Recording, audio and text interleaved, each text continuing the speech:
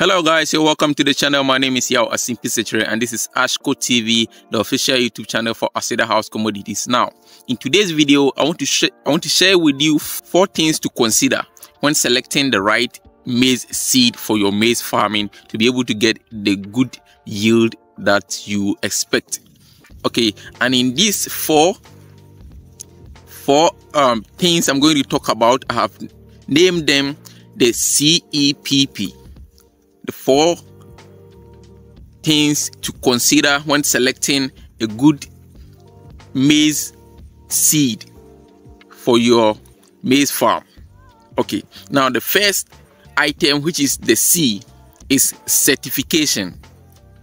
Certification. When you're selecting, most especially this hybrid seed, you should look out for certification. You should make sure that the seed is certified make sure it is certified okay? And you can confirm this um, by the certi certification body as labeled on that um, variety okay on that package. You can confirm it from that um, certification organization as labeled on that um the on on on, on that uh, label. Okay now the second item which is the e is expensive doesn't mean quality.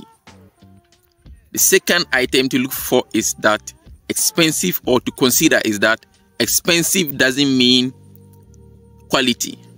Okay, why am I saying this? So most of the times we we perceive expensive we we, we perceive expensive um, varieties as the best. And the reason I'm saying this is that you know, most of the varieties are imported. Okay, and we know the import duties that we have, that we have to deal with in this country or in this part of the world. Okay, and what happens is that if somebody imports a maize variety, all the import duties, all the cost that he has, he or she has incurred in bringing the variety here, he they are going to add all these costs. You know, at the end of the day, you realize that the, the price of the product has increased so much. That doesn't necessarily mean the thing is of highest quality. Okay, but because of because of what the person went through in bringing the you know the that variety to this country, that is you know the reason most at times or most of the times that is the reason why it is of it is of that high price okay? And it doesn't necessarily means it is the highest of quality okay? So that is it. Before you consider that the price is um, influencing it the, the price is based on its quality or not okay? It will be based on people who have used it farmers that have used that variety of maize okay? To be able to tell you that okay this variety if you plant um, if you plant if if you decide to choose this that kind of variety you are likely to get this a b you know yield okay? You're likely to get yield of a quantity or b quantity. All right. So the third item which is the first p is the production and expiry date also look on the label and you'll find the production and expiry date. You know, most of these hybrid seed, what happens is that they have they have 12 months to, you know, they, they have 12 months expiry date. Like 12 months, you know, for them to lose their quality.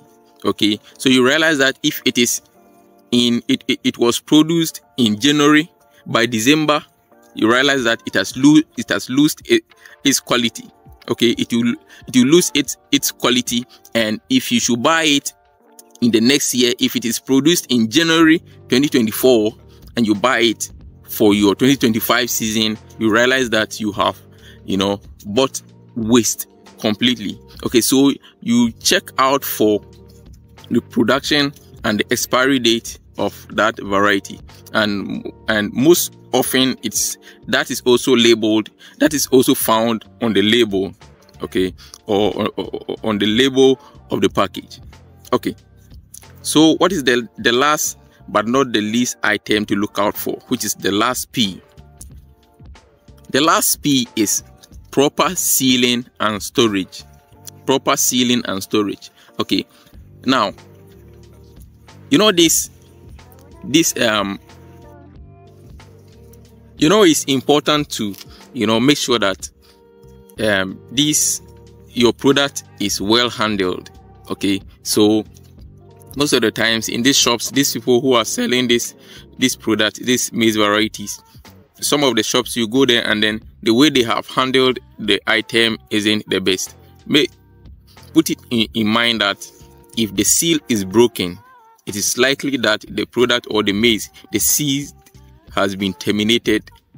Okay maybe maybe it has been tempered on you know um, directly or indirectly. Okay intentionally or unintentional.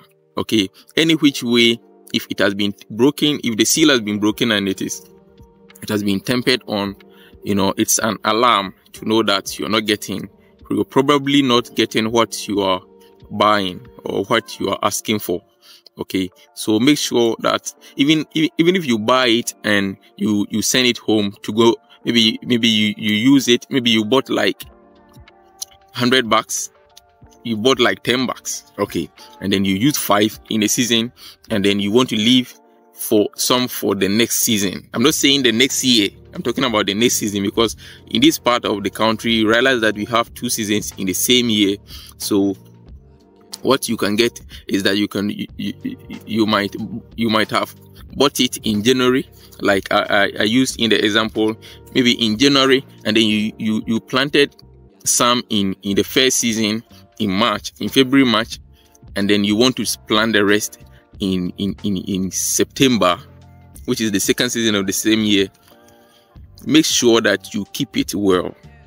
Make sure you keep it out in, in a cool and dried place as is always said. Okay so that you can maintain the quality all the time. Okay so um, these are the four items i want you to, to to take into consideration when selecting your seed. Make sure it is certified. Make sure the product is a certified product. Secondly make sure that it is you're not following the the, the price. Okay to to determine its quality. Don't just say okay this product is is um, expensive so it is quality. It's of high quality.